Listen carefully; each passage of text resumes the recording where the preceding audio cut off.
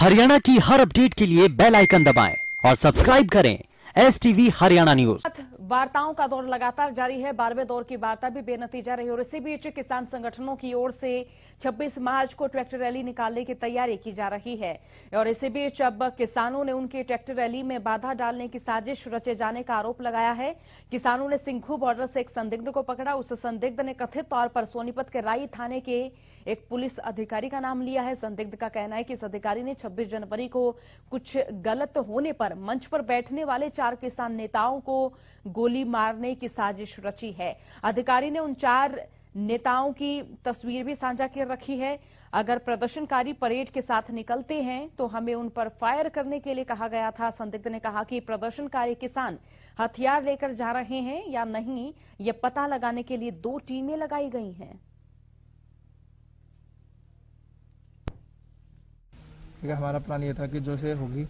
जैसे 26 तारीख को बढ़ने की कोशिश करेंगे तो पहले जो वो पहले जो लाइन होगी, उसमें क्या होगा, जैसे जो गन चलाएगा, जो सबसे पहले दिल्ली पुलिस इनको रोकने की कोशिश करेगी, जो गन चलाएगा सर, वो ये होगा कि, वो ये होगा कि पहले हम शूट करेंगे, पहले रोकने की कोशिश करेंगे। अगर ये बाई चांस नहीं रुकते तो इन पे शूट होने का ऑर्डर है। दूसरी चीज़, अगर तब भी नहीं रुकते इनके घुटनों में ऑर्डर है शूट करने का।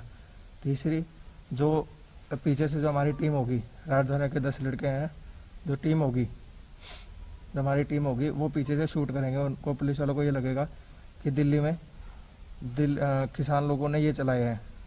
ठीक है? इसमें और चौथा प्राण जो 26 तारीख को जो रैली होगी उसमें से आधी जो 26 तारीख को उसमें से आधी लोग घर के होंगे जो पुलिस की वर्दी में होंगे। इनको तितर बितर करने के लिए। और जो 24 तारीख से है चार चार लोगों को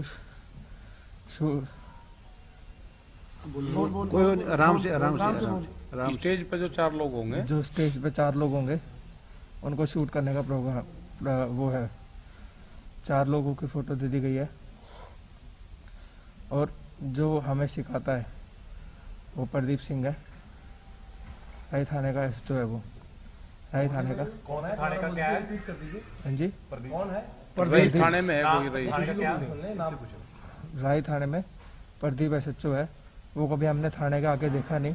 और जब भी हमसे मिलने आता था वो सिर्फ़ यहाँ कवर लगा के आता था वो। मुँह पे कवर लगा के आता उसका हमने राई।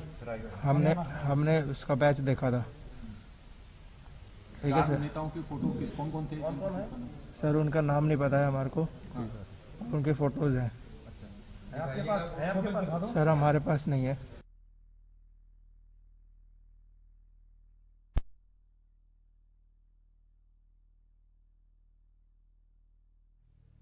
और वही सिंघू बॉर्डर पर पकड़े गए संदिग्ध के मसले पर दिल्ली पुलिस ने भी अपना बयान दिया है। दिल्ली पुलिस की ओर से कहा गया है कि इस संबंध में उन्हें कोई जानकारी नहीं है। दूसरी ओर मौके पर पहुँची हरियाणा पुलिस की एक टीम संदिग्ध को लेकर सिंखू बॉर्डर से निकल रही थी कि किसानों ने उनकी गाड़ी रोक ली। संदिग्ध को पुलिस के वाहन से उतार लिया गया। किसान नेताओं और पुलिस की टीम के बीच एक कमरे में संदिग्ध की मौजूदगी में बातचीत हुई।